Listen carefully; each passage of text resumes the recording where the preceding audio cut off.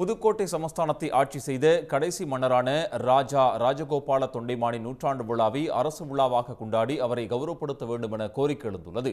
ஆயிரத்து அறுநூற்று எண்பத்தி ஆறாம் ஆண்டு முதல் புதுக்கோட்டை சமஸ்தானத்தை ஆட்சி செய்து வந்த தொண்டைமான் பரம்பரையின் ஒன்பதாவது மற்றும் கடைசி மன்னராக பிரகதம்பாஸ் ராஜராஜ கோபால தொண்டைமான் ஆட்சி செய்தார்.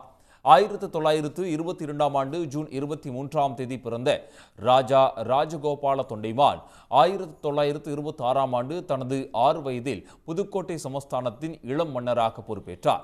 சிறிய வயதில் ஆட்சி பொறுப்பேற்றதால் சமஸ்தானத்தின் நிர்வாகத்தை ஆங்கிலேய ஆட்சியாளர் ஒருவர் தலைமையில் நிர்வாக குழு கவனித்து வந்தது.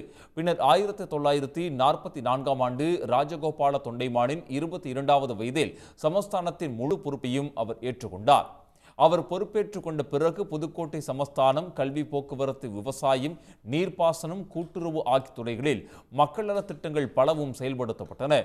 நாடு சுதந்திரத்திற்கு இந்தியாவுடன் புதுக்கோட்டையை இணைத்த பின் ராஜகோபால தொண்டைமான் இந்திய அரசுக்கு கொடுத்து அவரது அரண்மனையில்தான் தற்போதைய ஆட்சியர் அலுவலகம் இயங்கி வருகிறது.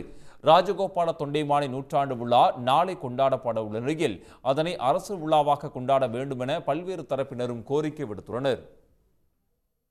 மணி மண்டபம் கட்டித்தர வேண்டும். ஒரு நிரந்தர மன்னருடைய புகைப்பட கண்காட்சியை ஏற்படுத்தி தர வேண்டும்.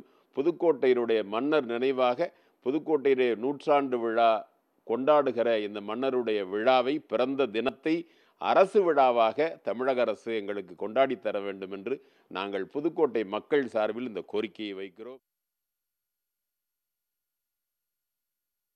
இந்த கோரிக்கை தொடர்பாக பேசிய புதுக்கோட்டை எம்எல்ஏ முத்துராஜா விரைவில் ராஜகோபால தொண்டைமான் நினைவாக வளைவு ஒன்று அமைக்க தமிழக அரசு நடவடிக்கை எடுக்கும் என தெரிவித்தார். மாவட்ட ஆட்சியர் அலுவலகம் அரசு மன்னர் கல்லூரி நீதிமன்றம் பழைய நகராட்சி அலுவலகம் பழைய அரசு மருத்துவமனை உள்ளிட்ட புதுக்கோட்டை நகரின் முக்கிய கட்டிடங்கள் ராஜா ராஜகோபால தொண்டைமான் கொடுத்து சென்ற இடத்தில் இயங்குகின்றன. இப்படி புதுக்கோட்டை நகரின் வளர்ச்சிக்கு முக்கிய பங்காற்றி அவர் தொடர்ந்து நினைவு கூறப்பட வேண்டும் என்பதே புதுக்கோட்டை மாவட்ட மக்களின் எதிர்பார்ப்பாக உள்ளது. உடனுக்குடன் செய்திகளை தெரிந்து கொள்ள சன் நியூஸ் பெல் கிளிக் பண்ணுங்க.